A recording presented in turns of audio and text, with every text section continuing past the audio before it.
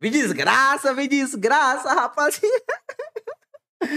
me desgraça, não. Olha, Mr. Beast, a Maria, o maior psicopata do YouTube. Aí tá peste, rapaz. Acaba chegou nas acusações. Brabo apenas. Ei, Barão! Calma lá. Calma lá. Lembrando que eu só vi o vídeo do JJ. O do JJ não abordou nada sério, praticamente. Só o do caso lá do amigo do Mr. Beast, tá? Tá? Então, olha, estou aqui simplesmente por pura entretenimento e curiosidade. Bom, eu acho que todo mundo tá ligado nessa situação que tá rolando com o Mr. Beast. Não tô, mano. Não, não tô, Neon. Olha aí. Eu fiz um vídeo sobre isso há dois dias atrás. O império do cara tá acabando, não para de sair mais vídeos sobre isso. O Império. O... Eita, o Neon tá botando um shape, Barão. O Neon não era magão.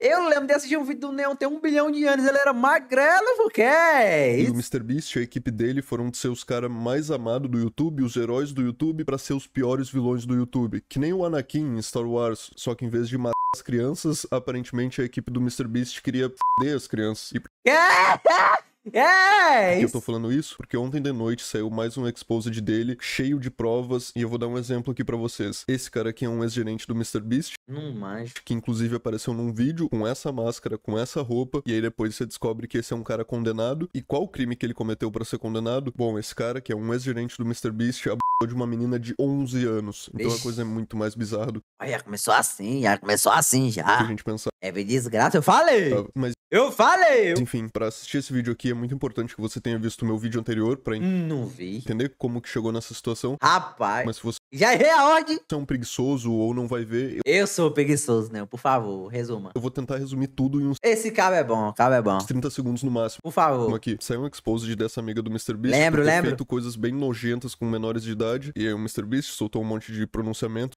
Estou repugnado e oponho-me a tais atos. Ainda bem, né, Mr. Beast? dizendo que era extremamente contra isso. E Ainda bem, né? Ainda bem, imagina. Não é contra. jogou ela pra escanteio. Depois ele foi pro Twitter, fez um tweet bonitinho, como se fosse extremamente contra esse tipo de coisa. Só que no mesmo dia que ele fez esse tweet, começou a vazar umas conversas dele Eita! Eu sei o tamanho do seu pênis. Que? que é isso, Mr. Beast? Que é isso? com menores de idade que era um Que é pouco isso? estranho. Nada muito criminoso. Por quê, mano? Não, ele, não ele, como é, não é, não, não é dele não. O pênis dele não é tão grande assim. Meu Deus, eu sei o tamanho do pênis dele. É, bicho, você é gay? que é? That moment you deep throat a roll kick cock. Criminoso, nada Rapaz. explícito, é isso, Mr. Bicho? mas estranho. Pra colocar uma pulguinha É, I wish the jacket as a one time thing. Spreadsheet won't let me sell them. I wish I could cause day sexo. eu só entendi o sexo. Ah tá, eu desejo que eu poderia causar o sexo dele. Não, pera, agora é, é, traduzir com minha pinta. Eita, eles são muito sexys. Atrás da orelha. Ele tava. Não entendi. Em uns três ou quatro Inglês fluente, gostou? quatro dias começou essa polêmica, esse cara que apareceu, o Dogpack 404, Esse cara sabe das coisas. onde ele gravou um vídeo dizendo que era um ex-funcionário do MrBeast e expôs um monte de merda que O cara poderia ter botado o nome dele, né, Barão? O cara, o cara puxou um expose de um bagulho mó sério, o nome do cabo é Dogpack 404. rolava dentro da empresa do MrBeast, colocando toda a carreira do cara em xeque. Também vazou essas notícias aqui, onde o MrBeast estava preparando um reality show que o nome ia ser Beast Games, só que aparentemente as pessoas estavam passando por situações extremamente precárias lá, que feriam os direitos humanos, porque aparentemente o MrBeast não estava sendo um youtuber que estava comandando o reality show, ele estava sendo um criminoso de guerra. Se você viu o vídeo passado, você sabe do que eu tô falando. Tinha um monte de gente relatando, tipo, homem quebrando o braço de mulher, quebrando perna de senhora, Eita, oxi! pisoteando uns aos outros. Rapaz, eu perdi, eu perdi um episódio aí, viu, Barão? Eu perdi um episódio, eu perdi uma temporada. perdi uma temporada aí, viu, Barão? Brigando. É por isso que é bom, acaba ver as coisas do, do, do- do- logo do final, né? brigando por comida, o tipo de coisa que você olha, e eu mesmo falei no vídeo passado, tipo, não, eu tenho certeza que isso aqui é fake, não é possível, não pode ser assim, mas depois de tudo que saiu ontem, eu tenho certeza que eu só tava sendo ingênuo, eu realmente acho que esse reality show aqui foi um cenário assustador. Mas você sabe uma coisa que é mais assustador que isso? Calvície. Ah, bom. Ah, bom, ah, bom. Olha como o AD, o AD do Neo é bom, pô. Tinha véia quebrando perna, tinha briga, tinha a desgraça, tinha gente passando fome, coisas precárias. Mas sabe o que é o pior que é isso aí, varão? Calvície! Tome manual, rapaziadas.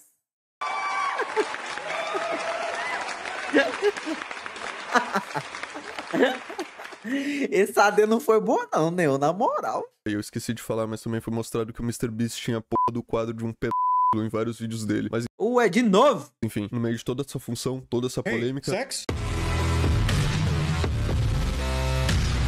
Dois dias atrás o MrBeast lança esse vídeo aqui, como se nada tivesse acontecendo. Sobreviva 100 dias num bunker nuclear. É, eu não entendi isso aí também, não, mano. Eu, eu juro, juro, eu também entendi. Todo mundo falando do Mr. Beast, cancelando ele, não sei o que, do nada ele soltou esse vídeo e eu fiquei, oxente. Ué, como foi isso?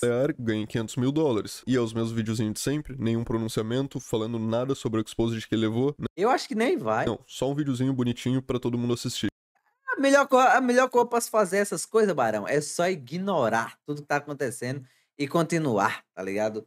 Sempre dá certo essa desgraça. E aí você pensa, pô, mas como é que o cara vai postar um vídeo estando exatamente no centro de uma das maiores controvérsias que aconteceu na internet esse ano? Com certeza vai dar merda, porque um monte de gente vai lá xingar, fazer coisa assim. Mas não, porque olha o que tá acontecendo. Um monte de gente tá comentando que todos os comentários dela estão sendo deletados diretamente. Elas postam, não dá nem 10 minutos e o Tá sendo censurado. comentário é deletado. É um controle absurdo dos comentários e da própria imagem. Então, é exato. ah, Não, simplesmente vai ser isso mesmo. Todo mundo tá tendo comentários Vai ser isso mesmo. excluído. Porém, vocês sabem que a internet tá cheio de rato que dá uma solução pra tudo, e a galera percebeu que se escrevesse as coisas sem dar espaço, o bot que ele tava usando pra excluir as coisas não funcionaria. Então, Ai, que tá usando bot. os caras começaram a comentar tudo junto, a E...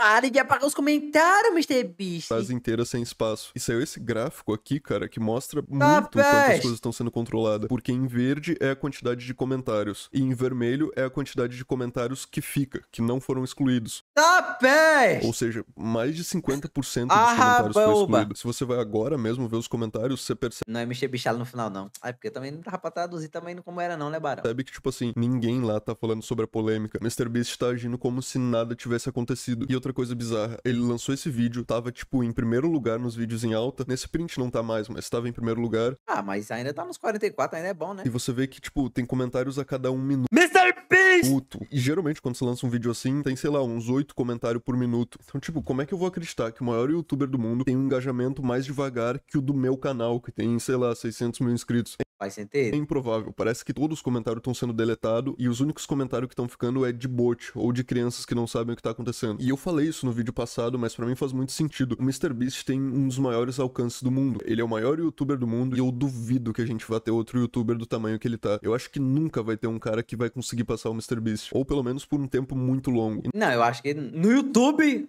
Nossa, não. não faz sentido pra ele falar sobre essa controvérsia toda. É bizarro, é bizarro, tá ligado? O conteúdo dele. O conteúdo dele também ajuda muito, pô. Porque talvez você que esteja aí assistindo pense, mas todo mundo sabe o que tá acontecendo com o MrBeast. Eu tô sendo bombardeado de informação, os vídeos têm muita view, todo mundo sabe. Mas não, cara, eu acho que na real você se impressiona quando você para pra ver que, tipo, tem gente que é muito por fora da internet. Tem gente que vê os vídeos do MrBeast e não vai ver vídeo de, sei lá, canal de comentário, canal de opinião, hashtag no Twitter. Tem gente que chega do trabalho, vai ver os vídeos, ou no caso do MrBeast, a maior parte é criança, que tá por fora dessa bolha. Só vai ver os videozinhos dele e vai defender ele a qualquer custo, porque criança é geralmente o público menos crítico. As Exato, é verdade. pessoas não têm um senso moral pra, tipo, caralho, isso aqui é bizarro. Não, criança não tem isso. E pro MrBeast, Aí que tá, pô. Ele não tá ganhando mais. Tá ligado? Não sei se vocês falam isso aí. Ah, ele tá ganhando mais. Não, não dá, pô. Porque, tipo assim, no YouTube você tem que assistir o vídeo. Você tem que assistir o vídeo pra gerar engajamento, tá ligado? Adianta nada aparecer um bilhão de pessoas. Não, provavelmente eu vou ganhar porque vai aparecer, a pessoa vai. vai mas o vídeo vai sendo parado de, de, de engajar, tá ligado? Mas como o Mr. Beast é muito grande, aí continua com um engajamento.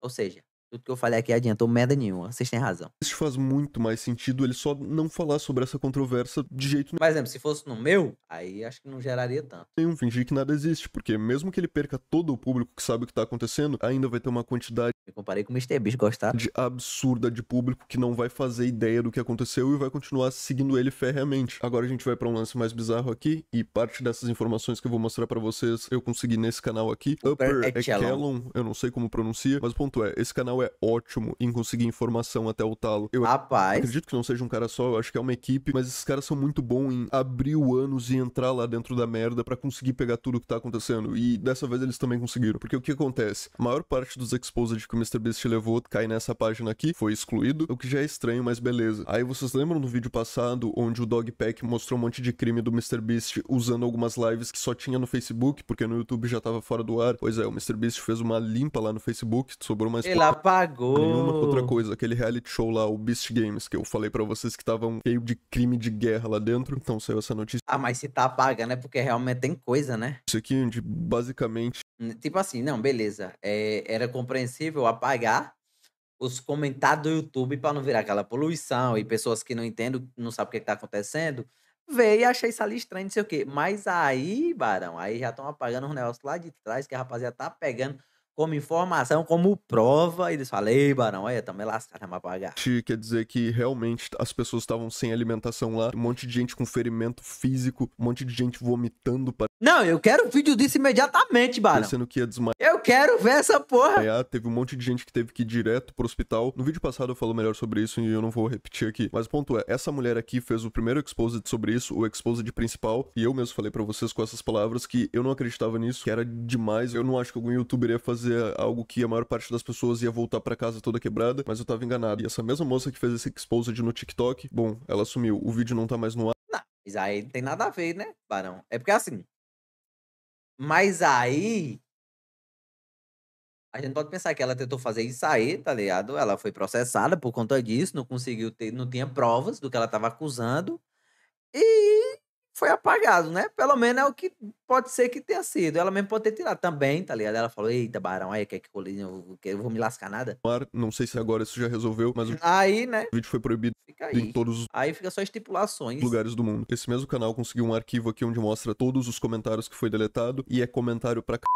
Basicamente tem mais comentário deletado do que comentário no ar lá no vídeo dele. Ele realmente tá fazendo um controle de danos sinistro, coisa que eu nunca vi um controle de danos tão alto no YouTube, sei lá, todo o tempo que eu tô na internet. Agora a gente vai aumentar um pouco a bizarrice e talvez você aí vá se impressionar com o quão sinistro na real o MrBeast é. E eu vou dar um exemplo pra vocês. Pega esse vídeo aqui, dando 10 mil de gorjeta pra um motoboy. Você vê esse vídeo, você vai ver ali que o vídeo tem 10 minutos e 26 segundos, certo? Beleza, tudo bem. Aí você vai lá no Wayback Machine, vai no mesmo vídeo Tinha 12 minutos. vídeo e você vê que um tempo atrás esse vídeo tinha 12 minutos e 48 segundos. E o MrBeast excluiu umas partes do vídeo depois que essa polêmica começou. Então o que, que o MrBeast foi, Eita foi peste! tão desesperadamente excluir? Rapaz. ele foi excluir essa parte aqui, porque você Ah! percebe que tem um quadro ali, certo? E as pessoas nesse trecho excluído não falam nada demais, mas por que, que ele excluiu essa parte?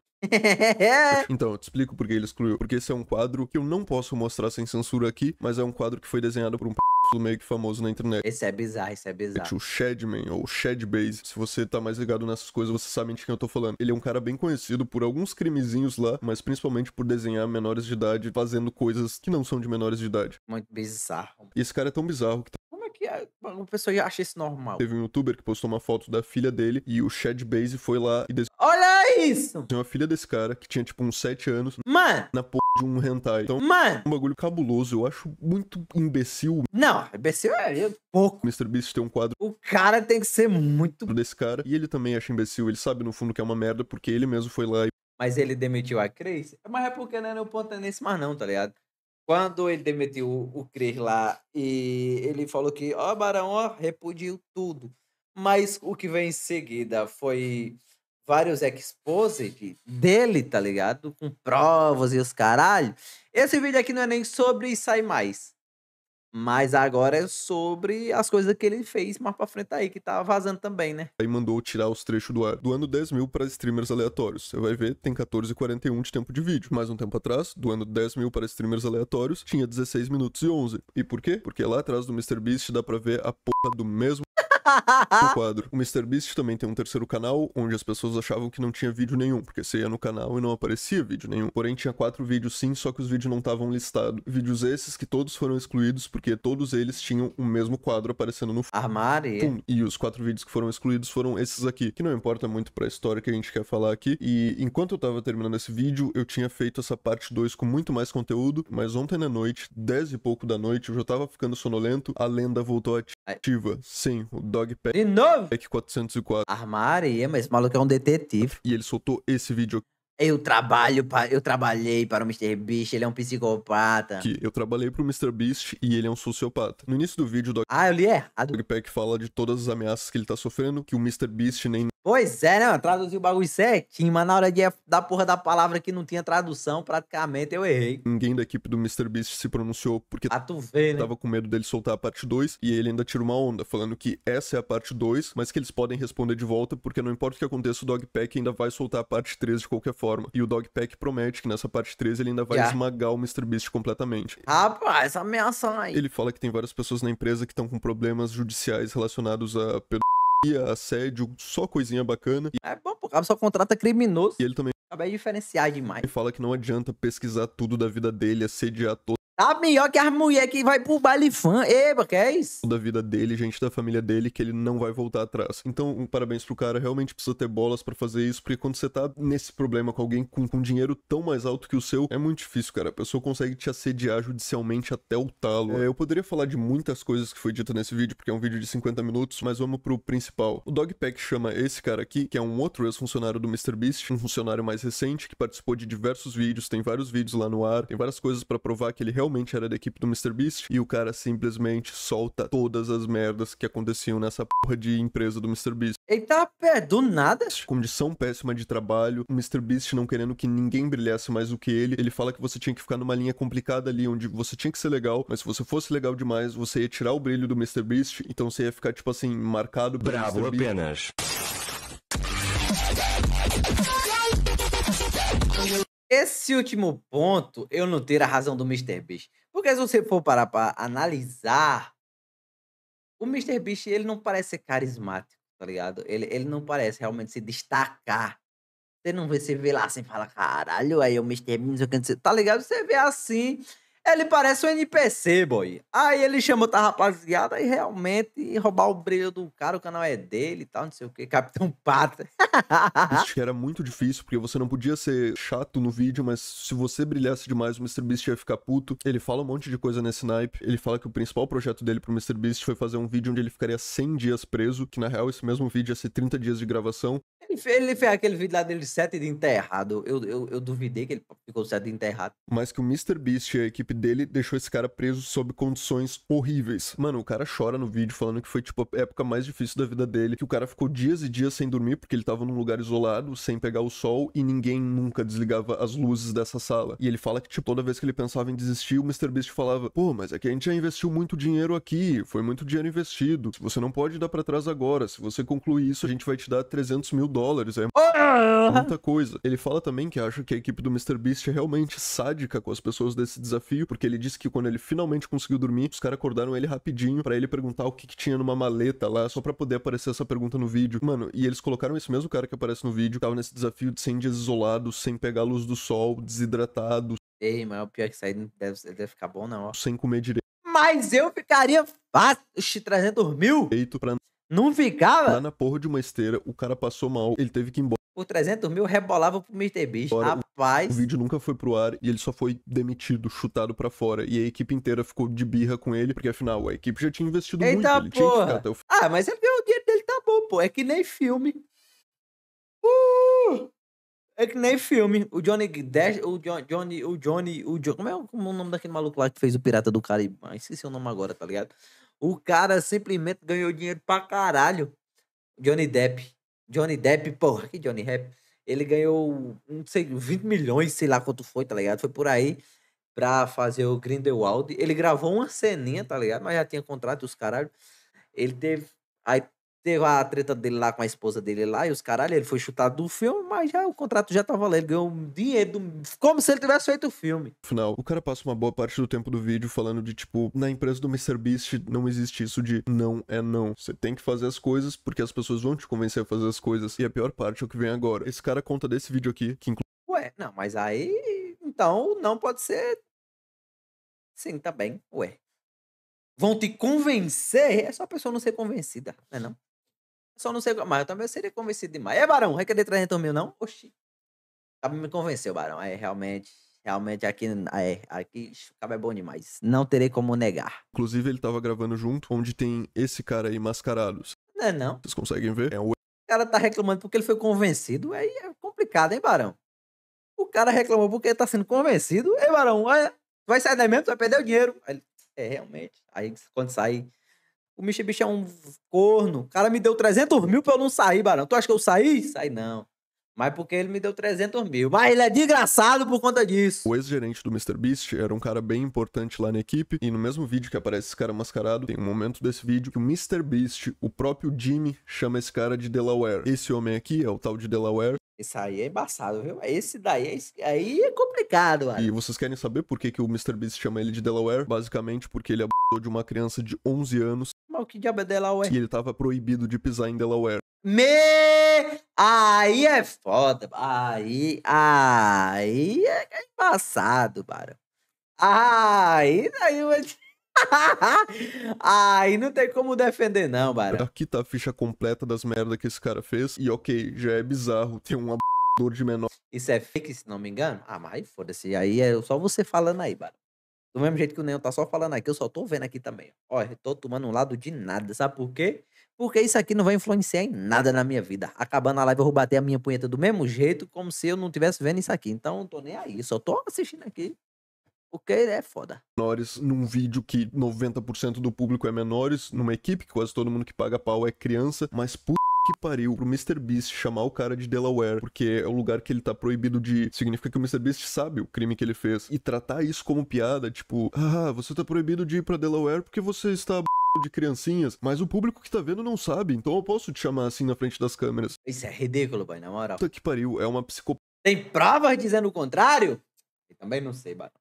Passa o vídeo aí, Fubuki, dizendo aí. Empatia sem tamanho pra mim é a maior falta de Ele visitava a família que é de Delaware.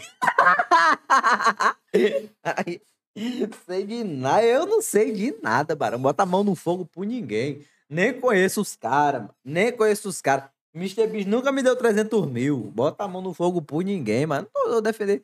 Ou tá defendendo pra quê? Ou tá ofendendo também, né? Vou tá acusando ou defendendo pra quê? de caráter, sem contar que tá longe de mim dizer, tipo assim, tá, essa pessoa cometeu um crime antes, então ela nunca mais pode ser contratada por nada. Eu não penso assim de forma nenhuma, mas eu acho que existem crimes e crimes, e crimes relacionados a. Eu acho que é uma das coisas mais imperdoáveis do mundo, mas pior que isso é pegar um cara que foi condenado por.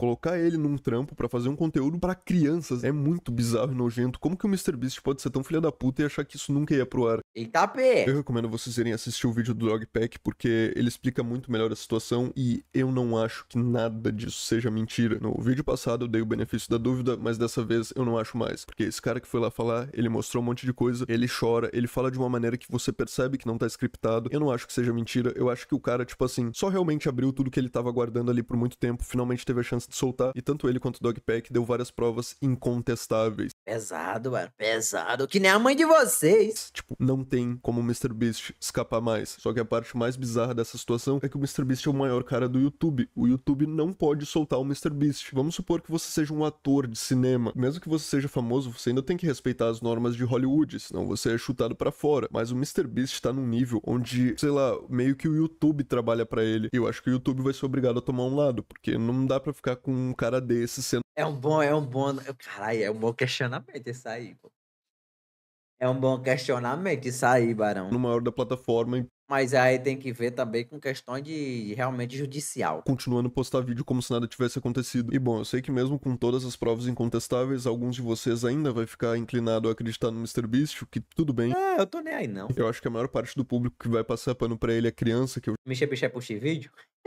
já falei que Do nada. tem um norte Gravar com o Brusão e a Tigresa VIP. moral mais fraco, não sabe muito bem o certo e o errado, mas eu acho mesmo que o MrBeast vai ser esmagado pelo senso comum. Ele é a p de um psicopata, tá cheio de prova aí, sei lá. Eu nem vou repetir os crimes que ele cometeu aqui, porque senão eu vou passar mais 30 minutos de vídeo falando, mas esse lance de ter um pôster de um p que ele sabe que é de um p porque ele foi excluir, ter contratado um cara que é de uma criança de 11 anos e foi condenado, fazer piada com essa mesma condenação, eu não acho que o MrBeast tem mais perdão. Eu quero que ele se f...